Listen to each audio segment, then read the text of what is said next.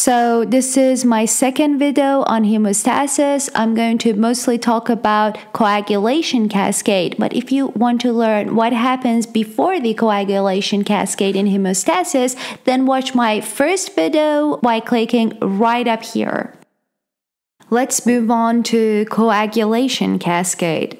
So, a coagulation cascade is a series of amplifying enzymatic reactions leading to the deposition of an insoluble fibrin clot. So, so far, we know about our platelet plug, but we also need fibrin strands to be added to it in order to consolidate it. Now, fibrin is not found directly in blood, but instead it's found in the form of fibrinogen. The goal of the coagulation cascade is to convert fibrinogen into fibrin so that fibrin can make up strands and attach to the platelet plug.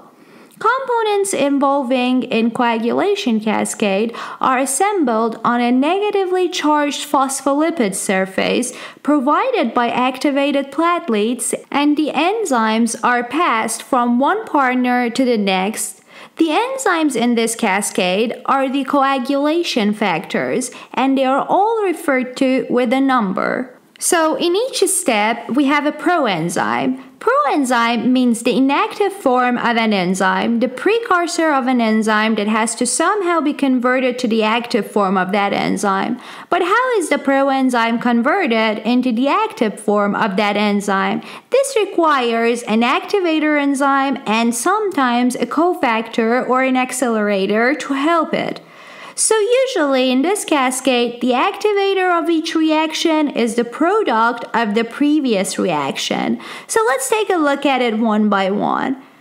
At first, we have a coagulation factor 12, which is converted into its active form 12A, A standing for activated. This reaction is activated by the negatively charged surface provided by the platelets, or in other words, contact with the negatively charged surface is required for this reaction.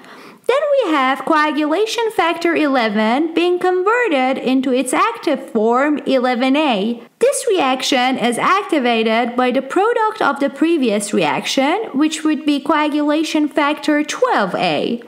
Then we have coagulation factor 9 being converted into its active form, which is 9A. This reaction is of course activated by the product of the previous reaction, which was coagulation factor 11A. In the next step, coagulation factor 10 has to be converted into its active form 10A. This reaction is of course activated by the product of the previous reaction, coagulation factor 9A. Except 9A cannot do this on its own and needs the help of 8A, a cofactor. Now, the next step is important. In the next step, prothrombin, which is the inactive precursor form of thrombin, is converted into its active form, thrombin. This happens by cleaving a part of prothrombin off. Prothrombin is also called factor 2, which would make thrombin factor 2A.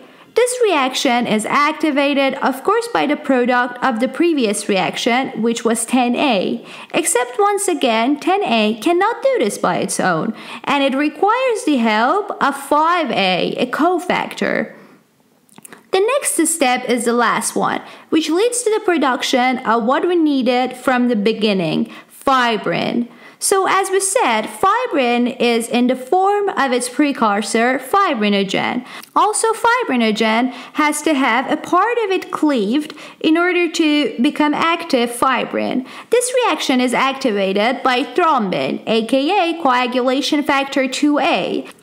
Let's also mention that fibrinogen is also called coagulation factor 1, which would make fibrin coagulation factor 1A. So that's it, not too difficult. You just have to remember the right numbers. They're like counting from 12 to 10, except for swapping 9 and 10. We should also remember how 9 goes together with 8 as its cofactor. Is it remember they are just next to each other? And 10 goes together with 5, also easy to remember, 5 is half of 10. So, so far, this was the intrinsic pathway, but we also have an extrinsic pathway. The extrinsic pathway starts with the conversion of coagulation factor 3 into its active form 3A. Coagulation factor 3 is also called tissue factor.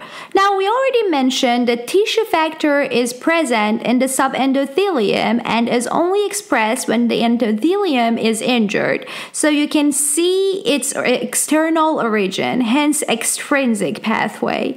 The conversion of tissue factor to its active form is activated by coagulation factor 7 we are already arriving at the step of converting coagulation factor 10 to its active form. But activated tissue factor cannot do it by its own, so it needs the help of activated coagulation factor 7 or 7a, a cofactor. The rest of it is identical to the intrinsic pathway. The coagulation factor 10 is converted to its active form 10a. 10a, with the help of 5a, activates the conversion of prothrombin to thrombin, and thrombin activates the conversion of fibrinogen into fibrin. What we reviewed together is in fact what happens in vitro or in the lab. In real life or in vivo, the major coagulation factor is the tissue factor or coagulation factor 3, which works via the extrinsic factor. But once it produces some thrombin, thrombin itself amplifies some reactions of both extrinsic and intrinsic pathways, creating a feedback loop. Thrombin works on coagulation factors 5, 8, 9, and 11. Calcium also has a role in these reactions. It binds to gamma carboxylated glutamic acid residues on some coagulation factors, helping their activation. Vitamin K is a cofactor in these reactions, meaning it helps them. Some drugs, such as Coumadin, antagonize vitamin K, limiting the reactions. Therefore, these drugs are used as anticoagulants. At this point, let's take a look at a couple of clinical tests that help us assess coagulation in patients. We have the prothrombin time or PT assay, and we have the partial prothrombin time or PTT assay. So, in prothrombin time or PT assay, we want to assess the function of the proteins involved in the extrinsic pathway only. So these proteins would be protein 7, 10, 5, and 2 or prothrombin, and 1 or fibrinogen. So tissue factor 3, phospholipids, and calcium are added to the patient's plasma, and the time for a fibrin clot to form is recorded. In the next assay, the partial thromboplastin time or PTT assay, we assess the function of the proteins involved in the intrinsic pathway, meaning factor 12, 11, 9, 8, 10, 5, and 2 or prothrombin, and fibrinogen or 1 we add negatively charged particles that activate factor 12 plus phospholipids and calcium, and the time to fibrin clot formation is recorded. Now, these assays have their uses, of course, but usually the key knowledge in bleeding disorders is to find out which coagulation factor specifically is missing, or we are dealing with the deficiency of which coagulation factor. While a deficiency of most of these coagulation factors would cause a mild bleeding disorder, a deficiency of prothrombin or factor 2 is incompatible with life. An interesting fact is that a factor 12 deficiency is associated with susceptibility to thrombosis, meaning clot formation rather than bleeding. This paradoxical effect of factor 12 may be explained by its role in fibrinolysis pathway, Okay, so that's pretty much it with the coagulation factor, but let's take a look at a couple of more notes. So, so far we know that thrombin is quite important. We have already mentioned most of its roles, but let's take an exclusive look at thrombin's role. We can mostly point out the following four. Firstly, conversion of fibrinogen into cross-linked fibrin. Another one would be platelet activation. The third one is pro inflammatory effects, and the fourth one is anticoagulant effects. So, as for the conversion of fibrin into cross linked fibrin, thrombin has the most important role in the cascade, which is the final conversion of fibrinogen into fibrin monomers. Fibrin can then polymerize into an insoluble clot. As we mentioned earlier, thrombin also amplifies several factors of the coagulation cascade.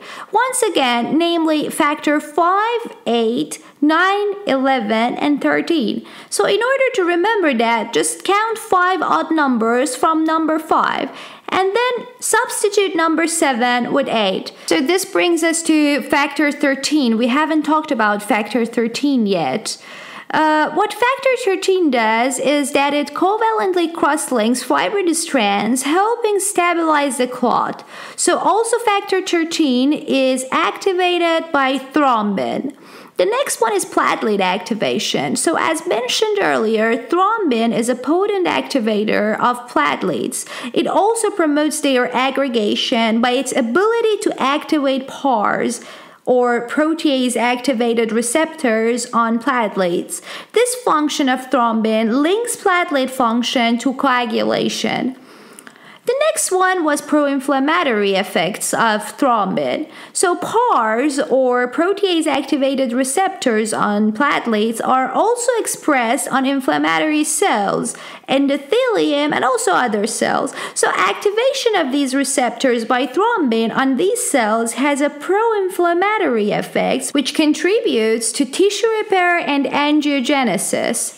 The last one was anticoagulant effect. So this one is pretty interesting. So once thrombin reaches a part in the endothelium that is intact and not injured, it changes from a procoagulant to an anticoagulant. So this function prevents the extension of clot formation beyond the site of injury. So, this is how coagulation happens and the clot is formed.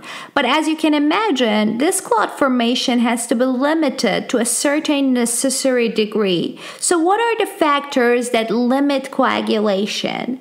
So, firstly, blood flow that causes a dilution and essentially washes all these factors away from the site of coagulation. The next one to mention would be the fact that the platelets are no more activated after a certain point to provide us with negatively charged phospholipids necessary for the cascade. The next thing to mention would be the factors that are expressed by the intact endothelium adjacent to the site of the injury that actively downregulate the coagulation. The last one is the fibrinolytic cascade. The fibrinolytic cascade is done mostly by the action of plasmin, which breaks down fibrin and interferes with its polymerization. Plasmin is generated from its precursor, which circulates the blood. One of the pathways converting plasminogen to plasmin involves the coagulation factor 12. The most important plasminogen activator, although, is TPA, which is produced by the endothelium and is most active while bound to fibrin. Plasmin itself is regulated by factors such as alpha 2 plasmin inhibitor, a factor that binds and inhibits free plasmin. Now, lastly, we have to talk about the endothelium.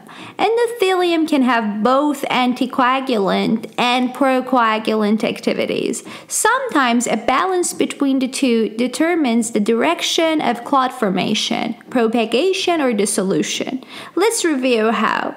The function of endothelium in hemostasis can be divided mostly under the following three categories. Firstly, platelet inhibitory effects, then anticoagulant effects, and then fibrinolytic effects. So let's start with platelet inhibitory effects.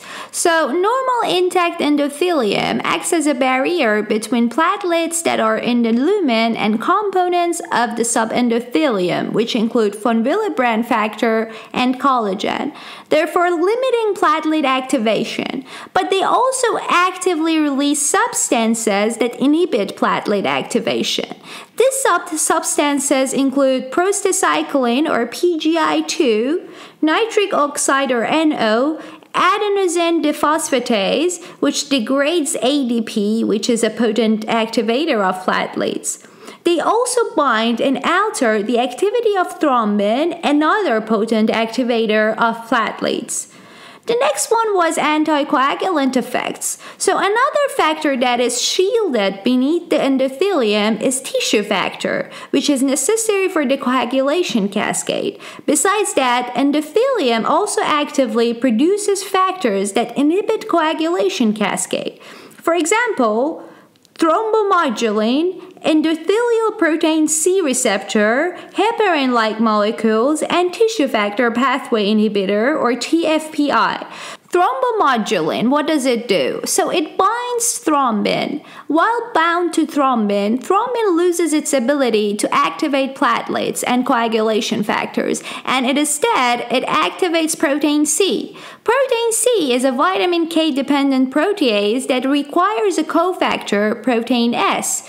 Protein C, together with protein S, form a complex that inhibits coagulation factors 5A and 8A. The next one is endothelial protein C receptor, which binds protein C. So again, protein C together with protein S can form a complex that inhibits coagulation factors. The next one was heparin-like molecules. Heparin-like molecules bind and activate antithrombin 3, which then inhibits thrombin and factors 9A, 10, 11A, and 12A. Tissue factor pathway inhibitor or TFPI is also like protein C. It requires protein S as a cofactor. It binds and inhibits the tissue factor factor 7A complexes. The next one is fibrinolytic effects of the endothelium. So, as mentioned before, normal endothelium produces TPA, which is a key component of fibrinolysis. This limits the clot formation to the site of the injury and doesn't allow it to go further to the intact endothelium. Thank you very much for watching this video. Don't forget to subscribe to the channel. If you want, you can also find us on Facebook and Instagram. Don't forget to take a look at signups.org.